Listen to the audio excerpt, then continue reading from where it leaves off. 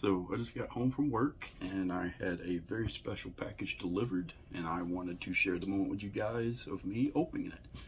So let's see what's inside.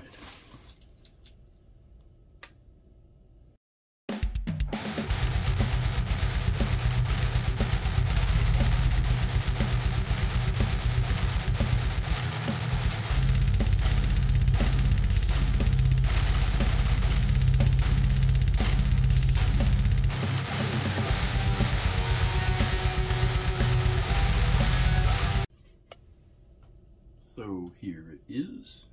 If you know me, you know this is a star-shaped guitar body. Why would I be buying one of those, you might ask? Well, if you count the tuners on this headstock, that is a seven string star body. So more details soon.